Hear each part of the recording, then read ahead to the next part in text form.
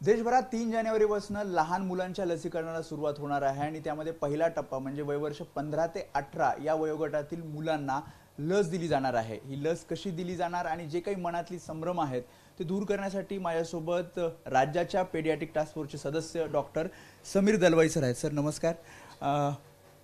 अखेर तीन जानेवारीपासून लहान मुलांचं लसीकरण सुरू होतंय. खरं तर वाट पाहत होते अनेक पालक प्रतीक्षा करत होते कारण शाळा सुरू झाली आणि लसीकरण कधी सुरू होणार? कसं पाहता जेव्हा लसीकरण सुरू होतंय आणि ही लस नेमकी कशी दिली जाणार?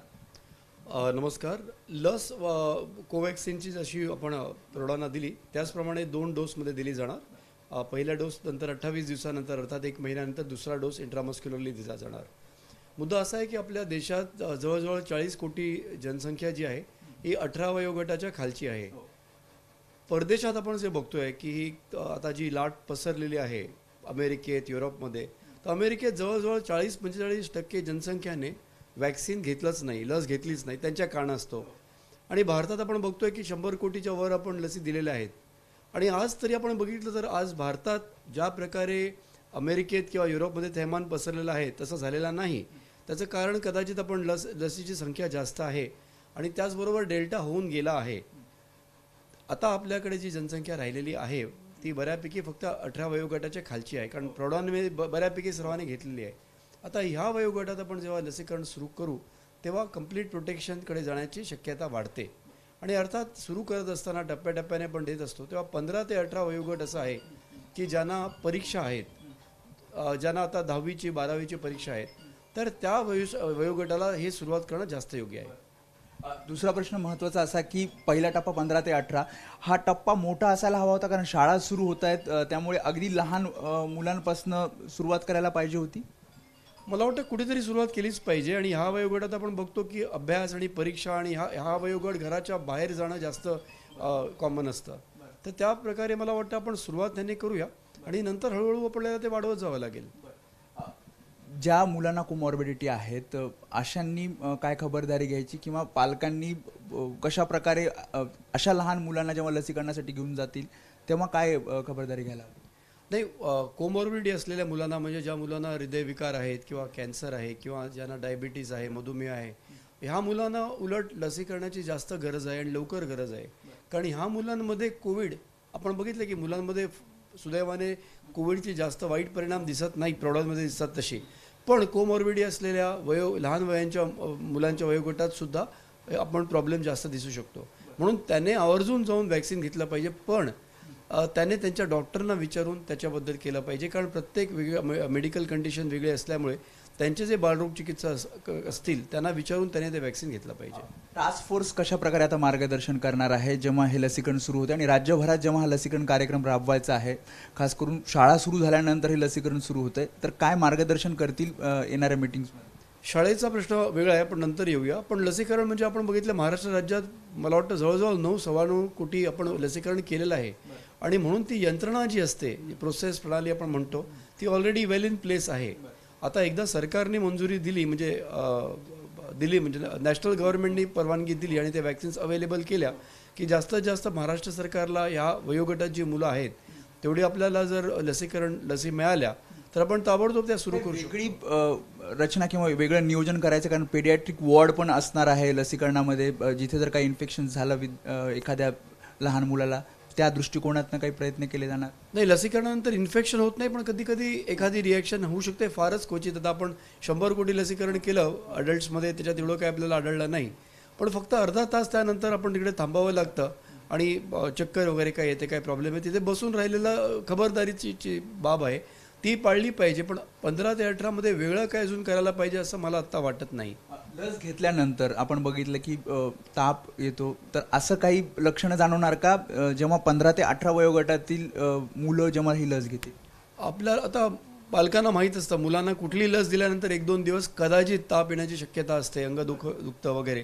तर तेवढंसं जर किरकोळ होण्याची शक्यता आहे खूपच जास्त असेल तर आपण पॅरासिटामॉल देऊ शकतो. किंवा जिथे तुम्हाला लसीकरण दिलं जाईल तिथे तुम्हाला ते ॲडवाईस देतील पण असं काही होण्याची भीती अशी मला वाटत नाही. आणखी दोन लस ज्याला खरं तर त्या लवकरात लवकर बाजारात येतील आणि जर ह्या दोन लस आल्या तर वॅक्सिनेशन फास्ट होईल जलद गतीने होईल आणि त्याचा परिणाम कशा प्रकारे पाहायला मिळेल? नाही दोन मुद्दे आहेत. प्रथम म्हणजे ल लस अवेलेबल असणं म्हणजे त्या संख्येने अवेलेबल असणं. म्हणजे जिथे जनसंख्या आहे तिथे त्याप्रमाणेची लस त्या प्रमाणाने लस असली पाहिजे. दुसरा मुद्दा आहे की लोकांनी लस घ्यावी हे असं त्यांना लोकांना वाटलं पाहिजे. कारण आपण ते काही कंपल्सरी करू शकत नाही. आणि मगाशी म्हटल्याप्रमाणे भारतात लोकांनी जास्त ॲक्सेप्ट केलेलं आहे. तर त्याच प्रकारे पालकाने पुढे येऊन मुलांसाठी लस घेणं खूप गरजेचं आहे असं मला वाटतं. आणखी एक महत्त्वाचा प्रश्न अनेक जेव्हा आपण ट्रायल्स सुरू होत्या तेव्हा पालक जात नव्हते ट्रायल्ससाठी लसीकरणाच्या. तर जेव्हा लसीकरण सुरू होईल अनेक मनात संभ्रम आहेत पालकांच्या. तर ते कसे दूर करावेत आणि जनजागृती किती महत्वाची असेल? नाही वेदांची ते नॉर्मल आहे ना नॅचरल आहे. किंवा काय ट्रायल म्हटल्यावर आपल्याकडे देशात आपल्या ओव्हरऑल रिसर्चसाठी आपण रिसर्च माइंडेड माणसं नाही आहोत. आपल्याला सेफ जे इतर शंभर लोकांनी केल्यानंतरच आपल्याला करायचं असतं. तर त्या प्रकारे ट्रायल्समध्ये आता ट्रायल्स संपूर्ण झालेले आहेत. आणि त्याचा निष्कर्ष येऊन डी जी सी आयने आता अप्रुव्हल दिलेलं आहे सरकारने अप्रुव्हल दिलेलं आहे. मला वाटतं आता पालक खूप पॉझिटिव्हली पुढे येतील. कारण त्याने स्वतः लसी घेतलेल्या आहेत. त्याने त्यांच्या आईवडिलांना म्हणजे मुलांच्या आजीवडिलांना लसी दिलेल्या आहेत. आणि आपण भारतात चांगला जो परिणाम आहे तो बघतोय. तर मला वाटतं आता पंधरा ते अठरा वयोगट गटात परत मुद्दा असा आहे ना हा वर आपण दहावी म्हणा बारावी म्हणा these are career defining years आपण दहा वर्ष मेहनत करतो दहावी बारावीच्या परीक्षेसाठी. आता मुलं पुढे येतील आणि मला वाटतं चांगला डिसिजन आहे कारण पंधरा ते अठरा वयोगट गटात मला वाटतं मॅक्झिमम प्रतिसाद मिळेल. आणि एकदा ते ज्याचं एक सोळा वर्षाचं मूल आहे त्याला एक दहा वर्षाचं पण मूल असतंच. नंतर आपण दहा बारा वर्षाकडे आलो की तो पण करता येईल. तर मला वाटतं ही चांगली प्रगती होईल. दुसरं म्हणजे ज्या प्रकारे ओमायक्रॉन अ, चा शिरकाव आणि रुग्णसंख्या झपाट्याने वाढते त्या दृष्टिकोनातनं टास्क फोर्स पुन्हा एकदा राज्य सरकारला किंवा खास करून शिक्षण विभागाला शाळांबाबत निर्णय बदलण्याची किंवा शाळा बंद करण्याची अशी सूचना देणार का? किंवा तशा प्रकारे विचार टास्क फोर्सचा सुरू आहे का? कारण अशी चर्चा सुरू होती. बघा बेसिकली मुलांचे जे गाईडलाईन्स आहेत बरेचसे हे समाजात अडल्ट्समध्ये जे बघायला मिळतात त्याच्या आधारित आहेत आता पहिल्या दोन वेवमध्ये आपण पाहिलं की अर्थात डेल्टा व्हेरियंट वगैरे होता की सुदैवाने लहान मुलांना म्हणजे अठराच्या खाली मुलांना त्याचा जास्त मारा फटका लागत नव्हता. इन्फेक्शन सर्वांनाच होतं. पण त्याचा जो रोग होतो इन्फेक्शन आणि रोगमध्ये हा फरक आहे की इन्फेक्शन आणि डिझीज म्हणजे रोग किती पसरतो हा मोठ्या माणसात जास्त पसरत होता. ओमायक्रॉनबद्दल असं म्हटलं जातं आहे जे अडल्ट्समध्ये बघ दिसत येते की त्यांच्या न्यूमोनिया जास्त होत नाही. कारण त्यांचे जे रिसेप्टर्स आहेत ते जनरली रेस्पिरेटरी ट्रॅकच्या वरच्या भागात म्हणजे नाकात घशात जास्त इन्फेक्शन करते आणि ते आपल्याला माहीत आहे की ते आपण जानलेवा म्हणतो किंवा सिरियस म्हणतो असं होऊ शकत नाही. तर मुलांमध्ये अजूनही सौम्य रूपात ते बघायला मिळेल. तेव्हा मुलांमध्ये त्याचा सिरियस आजार होईल असं वाटत नाही. पण ओमायक्रॉन जास्त झपाट्याने वाढतो आहे म्हणून पसरण्याची शक्य शक्यता आहे. म्हणजे आपल्याला ओमायक्रॉन जरी झाला तरी त्याच्यामुळे सिरियस आजार होणार नाही. आता ह्या अनुषंगाने शाळा सुरू ठेवायच्या की नाही हा वेगळा प्रश्न आहे. मला वाटतं सध्या आपण जे ओव्हरऑल भारतात बघतोय बाजारात बाजारपेठात जास्त गर्दी आहे. रात्री लोक फिरायला बाहेर निघत आहेत सिनेमा थिएटर चालू आहेत. फिरायला लोक रिसॉर्टमध्ये प्रचंड गर्दी उभी राहायला जागा मिळत नाही आहे शॉपिंग मॉल्समध्ये जागा मिळत नाही. तर ह्या ठिकाणी आपण जर ओव्हरऑल गर्दी करायचं कमी केलं तर मग शाळेतच फक्त रिस्क होईल असं पण नाही. शाळेची पण रिस्क आपण कमी करू शकतो. तर मला वाटतं समाजाने हे लक्षात घेतलं पाहिजे. म्हणणं की सध्या शाळा बंद करायचा कोणताही विचार नाही किंवा तशा प्रकारचं मार्गदर्शन क- केलं जाणार नाही? सध्या असं मार्गदर्शन आलेलं नाही. पण आता पुढच्या एक आठवडा दोन आठवड्यात आपण बघूया कसं एक पसरतंय. आणि एक म्हणजे एक सहजच मी असं म्हणतोय की ओव्हरऑल आपण दसरा पाहिला द- दसरा गेले गणपती दसरा दिवाळी आता नाताळ चाललंय. ओव्हरऑल जिथे सामूहिक म्हणजे हे सण वगैरे आहेत आपण त्यानंतर एवढा मोठा वेव पाहिला नाही. आता हे फक्त एक अनुमान आहे. ह्याच्यात तुम्ही फक्त सायंटिफिक खूप आहे असं घेऊ नये. पण अनुमान असं आहे की जनरली ओपन स्पेसमध्ये जास्त हा स्प्रेड होत नाही. पण आता आपण लग्न आहेत. इंडोर प्रोग्राम्स आहेत. त्याच्यात जर आपण त्या गोष्टी अवॉइड केल्या तर मला वाटतं बेटर. आणि शेवटी एक गोष्ट लक्षात घ्या. कुठलाही व्हायरस म्हणजे रेस्पिरेटरी व्हायरस थांबवण्याचा शेवटचा शंभर टक्के रामबाण उपाय म्हणजे मास्क घालणे आणि थोडं सोशल डिस्टन्सिंग पाळणे. ह्या गोष्टी जर आपण पाळल्या तर मला वाटतं शाळा आपण आत्ता जी परिस्थिती आहे की मार्गदर्शन आहे की आपण चालू ठेवायचे आहेत ती ठेवायला हरकत नाही. म्हणजे सुरू राहतील. म्हणजे सध्या तरी सध्या तरी असं मार्गदर्शन नाही आहे पण जर पिक्चर चेंज झालं तर आदरणीय मुख्यमंत्री आहेत ते ते डिसिजन घेऊ शकतील आणि मग त्याप्रमाणे आपण पुढे काय ते बघूया. अजून तरी अ, अजून तरी नाही. अजून तरी नाही.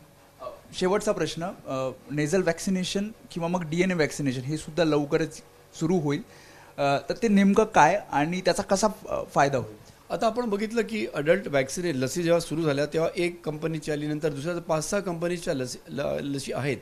प्रत्येकांचे plus positive negative minus plus minus negative तर मी म्हणणार नाही पण प्लस मायनस आहेत. नंतर खर्च आहे अवेलेबिलिटी आहे.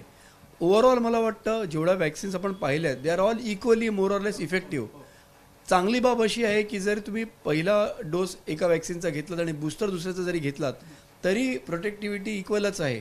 तर ह्या सर्व चांगल्या गोष्टी आहेत. नेझल वॅक्सिन आलं तर एवढंच आहे की म्हणजे ज्यांना सुई टोचायची भीती असते ती ती भीती नसणार कारण तुम्ही खास करून उपयोगाचं ठरेल किंवा हो नक्कीच. पण मुलांना आपण बऱ्याच वेळा टोचतो नाही का? ट्रिपल डीपीटी देत असतं बिचाऱ्यांना त्यांना सवय असतेच. पालकांना आणि विद्यार्थ्यांना लहान मुलांना जे हा- ही मुलाखत बघत त्यांना काय सांगाल जेव्हा हे लसीकरण सुरू होतं? जाऊन लस घ्या. मी एवढंच सांगेन लस घ्या घाबरू नका घाबरण्यासारखं काही नाही आहे तुम्हाला प्रोटेक्शन मिळते.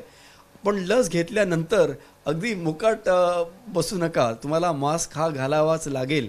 कारण आता ओमायक्रॉन नंतर अजून किती व्हेरियंट येणार आहेत आपल्याला माहीत नाही. आणि हे व्हायरसमध्ये कॉमन असतं. पण काय असतं? जशी आपल्याला पहिल्यांदा इन्फेक्शन होतं पहिल्या व्हेरियंटने दुसऱ्या व्हेरियंटने आपली प्रतिकारशक्ती वाढत असते. ती प्रतिकारशक्ती वाढवण्यात भर घालण्याचं काम वॅक्सिन हे करत असतं. तेव्हा हे दोन्ही समाजात चालत राहणार. सध्या तरी आपल्यासमोर थोडा ओमायक्रॉन पसरतोय असं दिसतंय. मास्क घालायला विसरू नका. कोविड गेलेला नाही. सिरियस आजार आहे असं वाटत नाही ओमायक्रॉन पण तरीसुद्धा मास्क घाला. त्यामुळे जेव्हा ब- विद्यार्थ्यांचं लहान मुलांचं जेव्हा लसीकरण होणार सुरू होणार आहे तेव्हा लस घेत असताना कोणत्याही मनात संभ्रम किंवा कुठल्याही प्रकारची भीती मनात न बाळगता लसीकरणाला समोर जा लस टोचून घ्या. शिवाय जे निर्बंध आहेत कारण ओमायक्रॉनच्या पार्श्वभूमीवर जे निर्बंध लादले जात आहेत त्याचं सुद्धा काटेकोरपणे पालन करणं सुद्धा तितकंच महत्त्वाचं असल्याचं डॉक्टर समीर दलवय यांनी सांगितलंय. कॅमेरामन दीपेश मादनसह समी वेदांत नेब एबीपी माझा मुंबई. एबीपी माझा उघडा डोळे बघा नीट.